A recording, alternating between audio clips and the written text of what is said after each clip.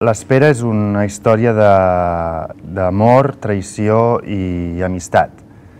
És la història d'una comtesseta que viu a, a Venècia, la situa a la Venècia del segle de les llums, a, del 1748, eh, que eh, és eh, empresonada perquè ha tingut una, una relació abans de que es pogués casar, és a dir, ella eh, hi havia un matrimoni eh, per conveniència amb un, amb un duc de França i resulta que per un desliz, diguem-ho així, es queda embarassada.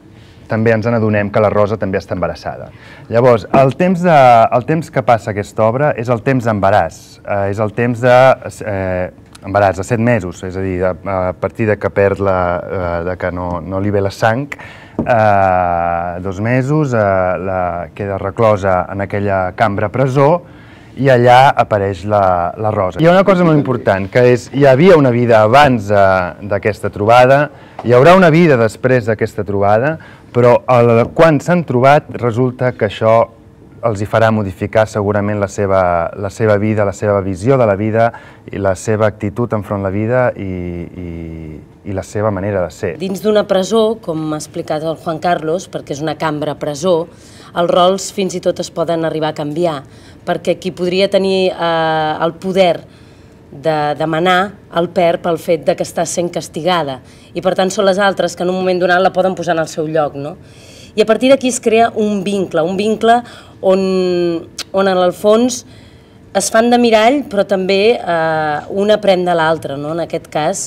I la Dida sempre està eh, en aquell paper de, de, de, de l'estament que no representa, perquè representa els pares, diguem, i, i els models que no, no poden variar i les lleis que no es poden trencar, però ella pertany més aviat al, al terreny de la Rosa que en el, en el de la Cornèlia. No? A mi el que m'agrada més d'aquesta funció és que són tres persones que si s'haguessin trobat al carrer un dia, al mateix lloc, perquè en el mateix lloc no hi haguessin estat mai, al mercat no hi hagués anat ella i jo no hagués anat a una festa.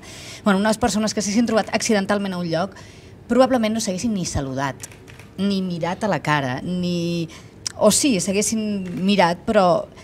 I el fet d'estar on estan i d'estar com estan les ajuda a haver de conviure sigui com sigui. Això és una de les coses que dona una mica aquesta, aquesta història de la presó. No? O sigui, una persona que mai de la vida li dirigiria la paraula a l'altra eh, acaba fent algú per ella que ni t'haguessis pensat. No? I això és una mica la grandesa que la trobo que, que, que és extrapolable a, a tots els temps, no? De dir, agafa un príncep i un captaire, i un captaire i tanca'ls i a veure què passa, no?